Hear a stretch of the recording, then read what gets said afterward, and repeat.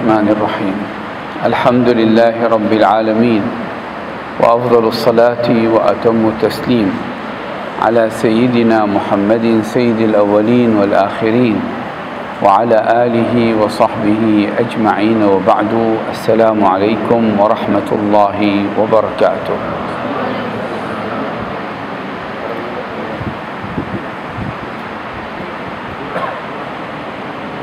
أرسل الله الأنبياء عليهم الصلاة والسلام إلى هذه البشرية.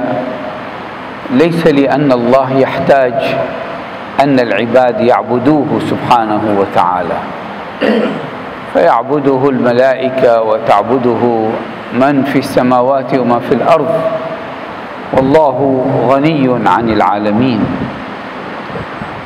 ولكن الله أرسل الملائكة إلى البشر من أجل هدايتهم كي يعيشوا في هذه الدنيا بسعادة وبطمأنينة ويعيشوا بسلام وإيمان.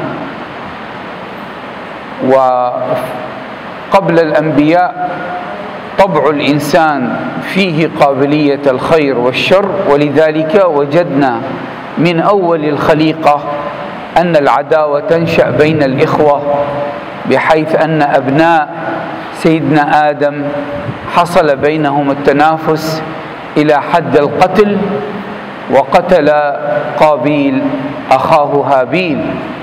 وقد ذكر الله هذا سبحانه وتعالى في سورة البقرة وبين قصتهم. اذا بعثة الأنبياء ليس لنعبد الله في الحقيقة لكن عبادة الله وسيلة لكي نصل إلى السعادة الحقيقية التي نحتاجها كي نعيش بها مطمئنين في هذه الدنيا. ولذلك عندما جاءوا أتوا إلينا بخير الدنيا والآخرة.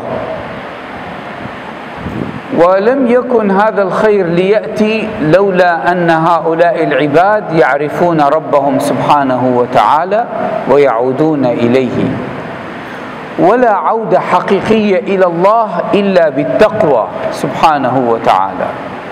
ولذلك قال الله سبحانه وتعالى ومن يتق الله يجعل له مخرجا ويرزقه من حيث لا يحتسب. ومن يتوكل على الله فهو حسبه.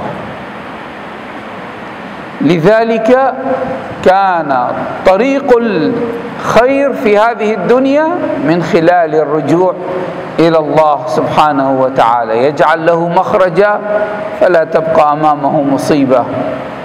ويرزقه من حيث لا يحتسب.